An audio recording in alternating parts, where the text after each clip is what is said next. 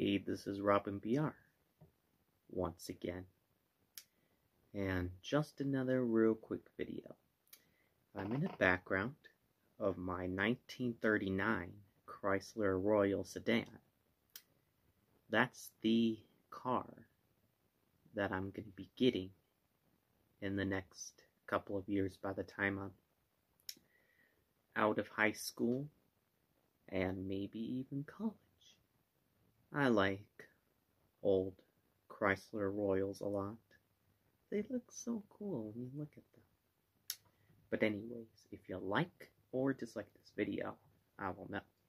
So do the right thing, and I'll see you next time.